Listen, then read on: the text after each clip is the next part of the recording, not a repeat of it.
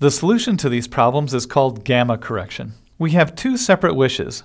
We want to compute our renderings in a linear space, and we want to compensate for the power curve of monitors when we're displaying. At its simplest, the equation's just this. You take the computed channel value, you raise it to the 1 over 2.2 power, and that gives you the value you need to display. This value of 2.2 is called the gamma correction value. Older Mac displays used 1.8 or so, but now 2.2 is the norm for all monitors.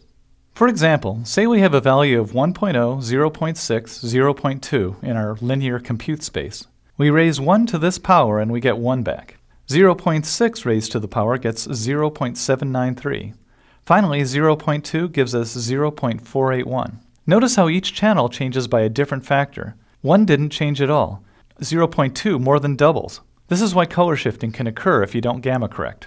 Gamma correction is something that's applied to the whole image just before display. If you try to do it yourself, you have to be aware of precision problems with your input data. For example, if you have only 8 bits per channel coming in, you won't be able to get 8 bits of good data coming out. The good news is that Three.js has gamma correction built in. All you have to do for it is ask. One last detail is that when you look at a color swatch or a texture on the screen, you're seeing the monitor's power curve version of the data. If you want to use that data properly when computing lighting effects, you actually have to raise each channel's value to a power of 2.2 before using it for anything, either making mipmaps or making images themselves. Three.js uses an on-the-fly approximation, squaring the texture's color when it's sampled.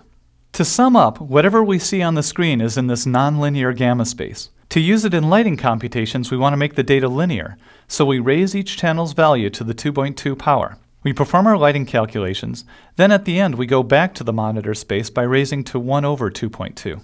Here are the corresponding Three.js calls. Some GPUs and APIs have built-in capabilities for dealing with Gamma properly. Unfortunately, these aren't currently accessible through WebGL or Three.js. Internally in Three.js, there's some approximation of Gamma, so a value might be squared instead of raised to the 2.2 power to bring it into linear computation space. To see the effect of gamma correction, take a look at the demo that follows.